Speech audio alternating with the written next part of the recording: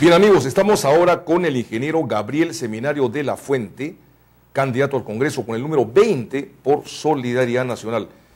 Eh, ingeniero, muchas gracias por estar en Hora 8. Buenas noches, Ricardo. Bueno, yo quiero decir que eh, Gabriel Seminario es ingeniero, eh, egresado de la Universidad Nacional de Ingeniería, estudió a través de una beca Fulbright y además tiene estudios en Harvard, la prestigiosa universidad norteamericana en Massachusetts, ¿no? Así es. En Boston, Massachusetts. Eh, él ha sido contralor del Grupo Romero durante 40 años y ha estado vinculado también a esa organización denominada Amigos de la Policía, de la cual formó parte también el ingeniero Arturo Utman, Así figurano como, como tú, ¿no? Así es. Y que, bueno, ha hecho cosas muy positivas por la policía y que ahora, digamos, una de las razones por las cuales te embarcas en la actividad política es para hacer planteamientos y propuestas relacionadas con la policía, con la reforma, el cambio y la mejora de la Policía Nacional. Exactamente, Ricardo. Hemos estado 13 años en Amigos de la Policía, así que esta experiencia nadie nos las ha contado, la hemos vivido muy de cerca.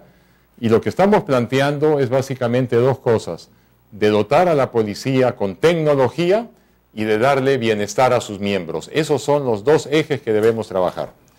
Es importante saber que en los siete años del presidente, en los cinco años del presidente Toledo, tuvimos siete ministros del Interior y en los cuatro años de García, otros siete. Eso es una barbaridad porque no hay continuidad de políticas. Es un puesto sumamente difícil y no podemos cambiar a los ministros cada seis meses. Y permíteme, digamos, y, remitiéndonos más atrás, desde el gobierno de Valentín Paniagua incluso hubieron intenciones de hacer reformas de la policía y todas ellas naufragaron, ¿no? Sí. Bueno. En la época, efectivamente, cuando estuvo Gino Costa, también se hicieron intentos de, reforma de la policía.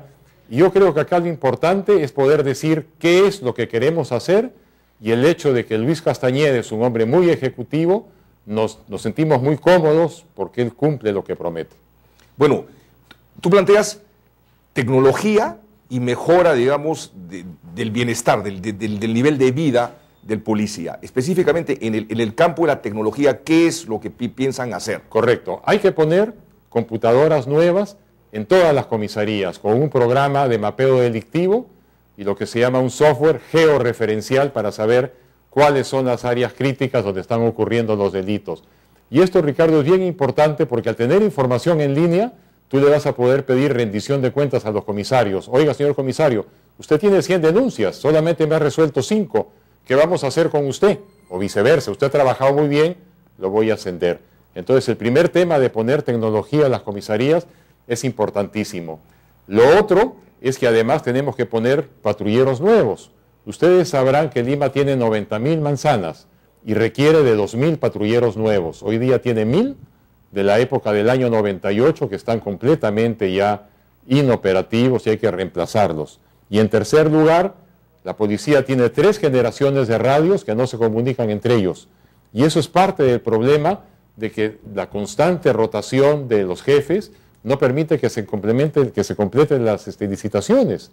Esta licitación para radios nuevos troncalizados por 56 millones de soles fue convocada por Fernando Barrios, él salió, como tú recuerdas, y el nuevo ministro ya no tiene el tiempo de poder hacerlo. O sea, lo lamentable es que, digamos, hay los recursos, pero digamos la inoperancia del Estado hace que este tipo de cosas queden, digamos, encarpetadas. Claro, yo, yo les aseguro que si logramos salir adelante y tenemos a Lucho Castañeda en el gobierno, en los primeros 100 días de gobierno vamos a tener 2.000 patrulleros nuevos, radios nuevos y computadoras nuevas en la policía. Eso lo vamos a hacer de todas maneras. Hay plata para hacerlo. Hay plata para hacerlo y no son cifras tampoco extraordinarias. Las computadoras es millón y medio de dólares, que es el 0.1% del presupuesto de la policía, que son más o menos 1.500 millones de dólares al año. Entonces, son, es, decisión de querer hacerlo, es lo importante.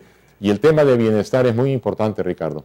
Y hay, formas, digamos, este, también de, digamos, movilizar a la sociedad civil, al sector privado, como lo han hecho, lo han venido haciendo este, muchos ciudadanos como tú, desde instituciones como amigos de la policía para que colaboren también, ¿no? Efectivamente, y, una, y, una, eh, y un ejemplo es, ustedes recordarán, hace unos años tuvimos una convocatoria de que los policías estaban con graves problemas de que no les daban sillas de ruedas, prótesis, y logramos con un apoyo de la sociedad privada de que a 150 policías les entregaran prótesis, sillas de ruedas, que fue un esfuerzo. Podemos bien, esa, esa, foto, por que Fue bien, esa cámara, a esa cámara. Que fue bien, bien importante. Entonces, efectivamente, Ricardo, podemos convocar al sector privado para que también nos apoye en esta campaña, pero yo lo que te diría es que es básicamente decisión política. Y si me permites, déjame tocar dos puntos del tema de bienestar, que es bien importante. Fíjate, los policías trabajan siete días a la semana, porque en vez de descansar en su día de franco, como no tienen ingresos, el comando policial les permite de realizar trabajos para WON, para privados. Y eso es muy malo, porque están cansados y ustedes los ven dormitando en los patrulleros, ya que no tienen un solo día de descanso. Eso hay que resolverlo de todas maneras. Y luego la sanidad policial es otro tema que opera muy mal. ¿Por qué? Porque la policía no es su función manejar la sanidad policial un general de la policía nunca va a poder hacer un trabajo profesional en la sanidad porque no es su función, no lo sabe hacer. Ahí hay que contratar a gente profesional de ese sector para que puedan hacer un trabajo serio y profesional. Entonces yo te insisto, con tecnología y con bienestar, la policía avanzaría eh, eh, de una manera pero que no nos podemos imaginar.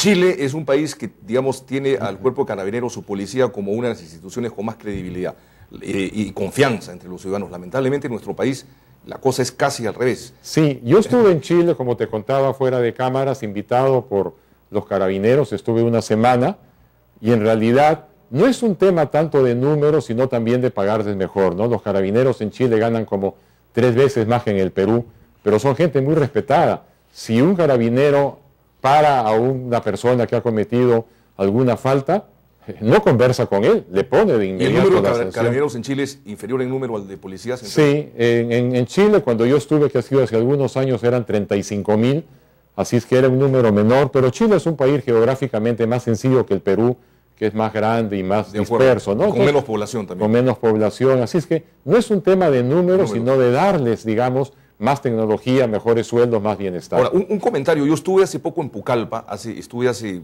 10 días en Pucallpa, y noté, sinceramente, una ausencia de personal policial. No había muchos policías realmente en Pucallpa, que es una localidad pues esparcida, muy, muy extensa, no sé si la conoces. No había muchos policías, no había esa sensación, digamos, de, seguridad que sí se puede, puede ocurrir que a nivel nacional no estemos con la policía exactamente en los lugares donde deberían estar pero el ratio es de un policía para 400 ciudadanos. Ese ratio lo tiene Estados Unidos y lo tiene el Perú. Entonces yo te diría, Ricardo, que lo primero es trabajar mejor con lo que tenemos. Eso es la primera prioridad. Y nosotros sabemos hacerlo porque desde hace años conocemos bien a la policía. Es un tema de gerencia. Efectivamente. Ahora, y es un tema de gerencia en el cual deben participar los técnicos en, en la reformulación de la institución y no necesariamente como se ha querido hacer justamente los policías, porque aparentemente las reformas que han habido en el pasado o los intentos de reformas han querido ser hechos por generales de la policía. Es como querer reformar el Poder Judicial con jueces. Yo, yo un ejemplo que te doy es ejemplo de la sanidad policial. Nosotros en el sector privado siempre decimos que uno debe dedicarse a su core business, a lo que es su negocio, y no dedicarnos a temas que no conocemos. Muchas veces los policías quieren tener el poder en sus manos y entonces quieren hacer de todo, quieren tener la sanidad, quieren tener, qué sé yo, eh, el, cementerio también es de la policía, y a la hora de que se distraen en muchas cosas no lo van a hacer bien. Yo te cuento una anécdota, si me permites. Sí, por supuesto. Yo participé con Arturo Woodman en la comisión que eh, organizó la Copa América y el Mundial Sub-17 que salió perfecto. Y entonces... Lástima que, perdimos, los, sí, pero bueno, la, organización fue muy buena. fue muy buena. Hay que decirlo. Y entonces para cuidar los estadios, nosotros pensamos en contratar a una empresa privada de seguridad y cuando fuimos a hablar con una de las conocidas empresas nos dijeron, no, ustedes trabajen con la policía porque ellos saben cómo es la idiosincrasia, saben cómo manejar esto porque lo vienen haciendo siempre. Y efectivamente trabajamos con la policía, les pagamos en su día de franco, hicieron un excelente trabajo y las mujeres policías verificaban el boletaje y lo hacían extraordinariamente bien. Cuando hacen lo que ellos saben hacer, Eso funciona bien. Cuando se dedican a otras actividades, es un desastre. De acuerdo. Muchísimas gracias, Encantado, Gabriel Ricardo. Seminario. Esperamos tenerte con mucha frecuencia en el programa, no precisamente para temas de campaña electoral, que bueno, ahora sí los tenemos que tratar, sino para seguir hablando sobre nuestra Policía Nacional, cómo poder levantarla, mejorarla. Muchas gracias, Muy amable, y quiero recordarles que el ingeniero Gabriel Seminario va con el número 20 por Lima por Solidaridad Nacional. Regresamos, viene Francisco Guanacune, candidato al Parlamento andino por el partido aprista.